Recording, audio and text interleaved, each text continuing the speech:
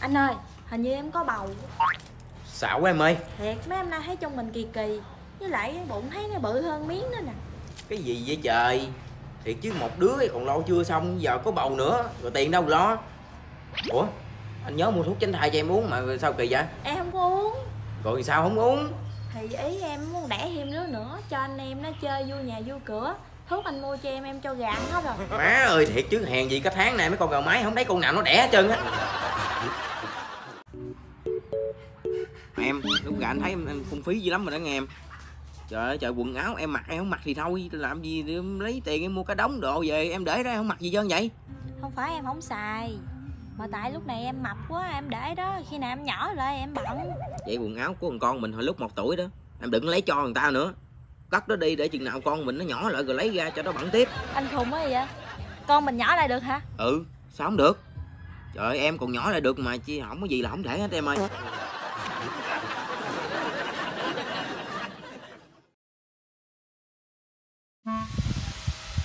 Alo, chị hả?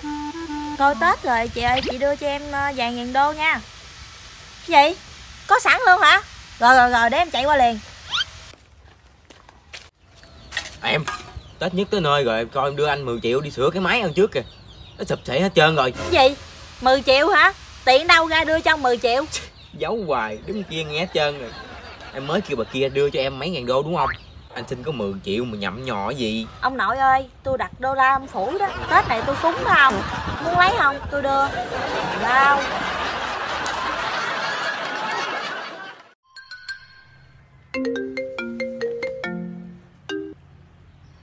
Alo. Đang nhà chứ đâu mày? Gì? Nhậu hả? Đáng đâu vậy? Ừ rồi rồi. Tao qua điện đợi xíu Ê ê mua mồi chưa? Rồi rồi rồi rồi. Em ở nhà con nhậu xíu anh đi nhậu xíu nha em. Nghe tới nhậu lận mắt sáng gỡ Ăn nhậu tối ngày. Hồi đó mà tôi nghe lời mẹ tôi đừng lấy anh Tôi đâu khổ như giờ. Có thấy khổ gì đâu trời. Ủa Bộ hồi đó mẹ không cho em lấy anh hả? Chứ gì nữa. Trời ơi trời. Vậy mà đó giờ anh trách lầm mẹ rồi trời. Thiệt chứ. Không có nhà cho tôi. Vậy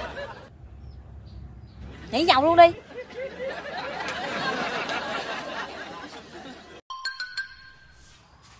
Anh đang làm gì vậy anh? Chơi game có gì không em? Game game hoài sáng mai sắp xếp trả em đi khám mắt nha. Ủa mắt em bị gì nữa hả? Không biết nữa, nhìn gần là được. Nhìn sao không thấy gì hết trơn á. Trời ơi em đi ra đây. Đi ra đây anh chỉ cho đây cho coi. Nè em ra đây ra đây. Em nhìn lên trời thử coi em thấy gì không? Thấy. Mặt trời. Đó vậy ngon rồi. Em muốn nhìn xa tới cỡ nào nữa? Em muốn nhìn xa tới cỡ nào nữa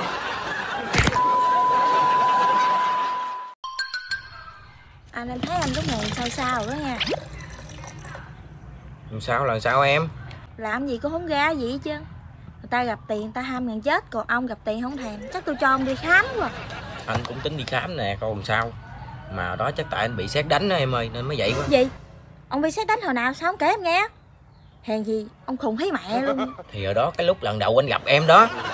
Tôi xét đánh cho ông hậu vợ nè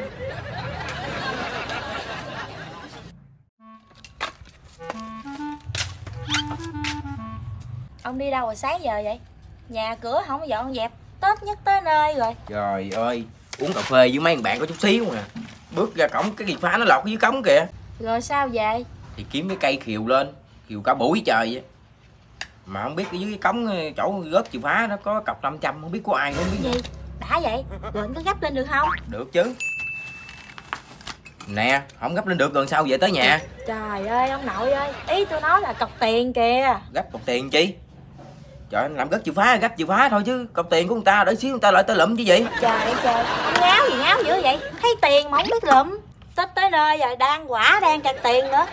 Mới mắc chiếc xe nữa Mà gặp ông nội này gặp tiền sợ Không dám lụm nữa.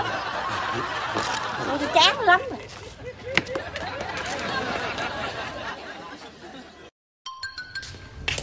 Anh đang làm gì vậy? Anh đang làm con chuyện không thấy sao em? Anh em hỏi anh thiệt này nha.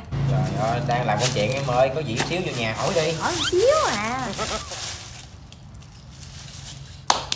Cái gì nữa hỏi đi. Từ lúc cưới nhau tới giờ á anh sống là anh sống vì ai?